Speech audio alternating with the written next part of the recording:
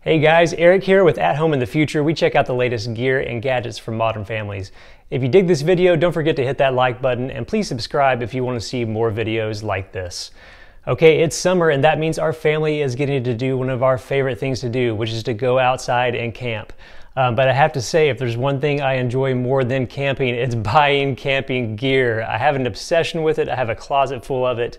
Um, and it's just something that I love to do. So, uh, one thing I want to talk about is what is the best camp chair. Now, like many of you, I started out with the Walmart special, the giant fold up chair that weighs 15 pounds. You have to lug everywhere. It rusts. You have to change it out almost every summer because it gets so beat up. And I wanted to see what better options there were out on the market. So over the last few years, I have purchased just about every popular chair and I have a lot of opinions on them. So today, I want to do a head-to-head comparison showing you some of the most popular chairs um, and hopefully help you decide what's the best fit for your family. Let's check them out.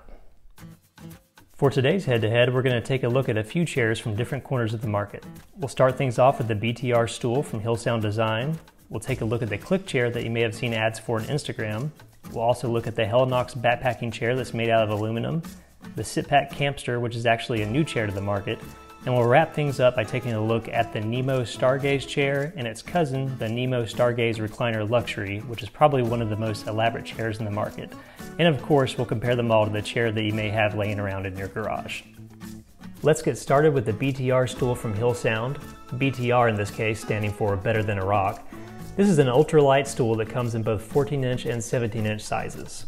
All you do to set it up is extend the legs and fold out the seat, which locks the legs into place with the technology they call Phantom Lock. This stool is light enough to take literally anywhere, and although the short one is a little too small for my 5'10 frame, the taller one feels just right to me. Next up is the Helinox Chair 1, which for a long time has been one of the most popular ultralight chairs in the market. Its frame uses the same kind of aluminum poles you'd find in a backpacking tent, meaning it weighs only 2 pounds. The shock corded poles can be a little bit of a pain to set up and tear down, and it takes a minute or two to pack up the chair inside its carry bag. But overall, the Chair 1 makes for a comfortable seat beside the campfire. The SitPack Campster is a chair that you probably haven't come across before, and that's because it's brand new to the market after wrapping up a campaign on Indiegogo. The Campster features a unique design with only three legs and support arms that twist into place to hold up the seat. It sits up higher than almost any other chair on this list and is super light at only 2 pounds, but I find myself sliding down to the front instead of sitting back comfortably whenever I sit in it. It might work out better for you depending on how you're comfortable sitting. If you're on Instagram, then you've probably come across an ad for the Cliq Chair. The Cliq Chair is another crowd-funded chair from 2019, and it's one that our family uses often. It packs down small and it's a cinch to set up, just pop out the legs, snap the four sides of the frame into place, and you're good to go.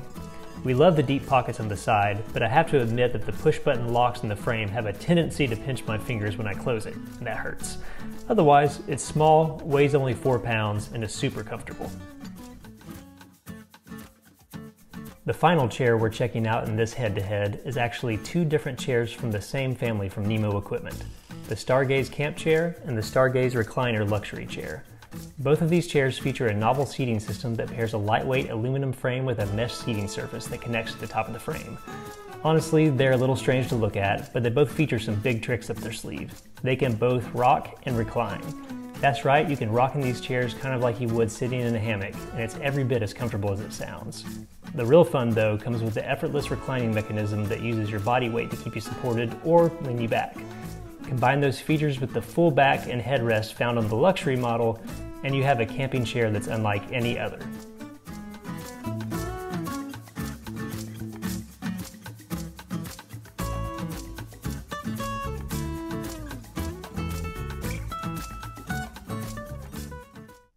All right, we've lined all of the chairs up, we've taken a look at all of their features, but you're probably wondering what is the best chair for you?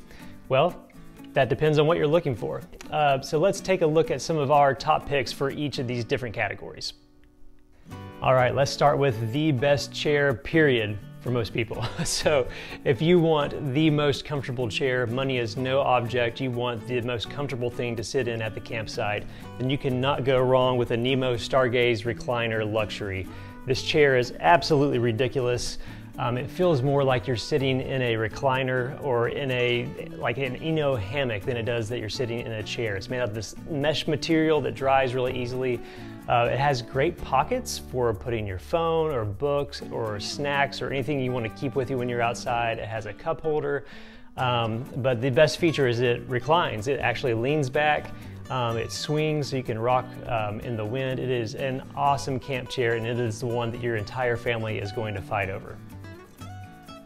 If you're just looking to replace that beat up old camping chair that sits in the corner of your garage, the one that's a pain to take in your car and too heavy to take anywhere, then you probably want to look into the Cliq chair. Uh, this is a great little chair that completed a crowdfunding campaign around the end of 2019 um, and we've really enjoyed using it. It's very easy to set up, it's very comfortable, it's still a good size, not quite as big as those department store chairs, but still really comfortable to set in. And the nice thing is it only weighs about four pounds and packs up really small, so it's easy to keep in your car. It's easy to throw in a bag or just walk down uh, to the beach with it. And it's a great all-around chair that you won't go wrong with. Now, if weight and portability are one of the main things that matter to you, then you want to check out one of the more lightweight options. Now, I've always loved this Helinox chair. I actually keep this in my truck. Um, again, it's really lightweight, packs down small, weighs only about two pounds, and it's still pretty comfortable. Uh, but this summer, we discovered the BTR stool uh, from a company called Hillsound. And these things are absolutely incredible. You can see how tiny this is. It weighs, I think this is the 14 inch one, it weighs about 12 ounces, which is absolutely nuts. But it's super stable when you fold it out. Now it doesn't have back support, but it is something that um, if you just if you're going on a backpacking thing, if you want to just hike somewhere with your family and throw something really lightweight in your backpack, you will not even notice that this is there, making it a killer option for that kind of adventure. So there you have it. Those are our top picks for the best camping chair in each category. I hope that's helpful for you as your family makes the decision about what's best for you. Now, if you have an option that you use or a chair that we didn't feature here that you want to talk about, make sure you drop a comment below and let us know. Uh, if you dug this video, again, press that like button. It helps us out a bunch. And if you want to see more content like this in the future, please subscribe. We'll see you next time.